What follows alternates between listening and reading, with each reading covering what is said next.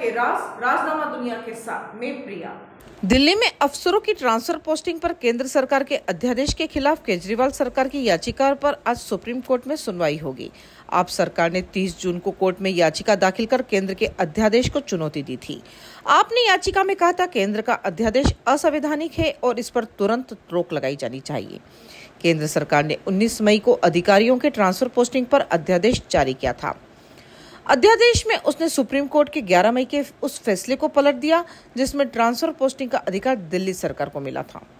अध्यादेश के मुताबिक दिल्ली में अधिकारियों के ट्रांसफ़र पोस्टिंग का आखिरी फैसला उपराज्यपाल यानी एलजी का होगा।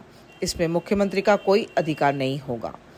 केंद्र सरकार ने अध्यादेश लाकर राजधानी में अधिकारियों की ट्रांसफ़र पोस्टिंग के लिए राष्ट्रीय राजधानी सिविल सेवा प्राधिकरण की स्थापना की थी। मुख्यमंत्री केजरीवाल इसके अध्यक्ष हैं, जबकि दिल्ली के मुख्य सचिव और प्रमुख गृह सचिव भी इसके सदस्य हैं। 2 जुलाई को सीएम ऑफ़िस ने राष्ट्रीय राजधानी सिविल सेवा प्राधिकरण की आलोचना की।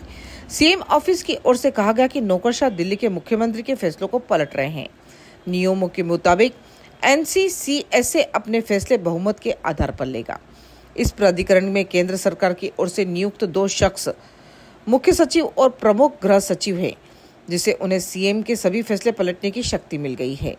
हालाँकि उपराज्यपाल सचिवालय ने इन दावों को सिरे से खारिज कर दिया है।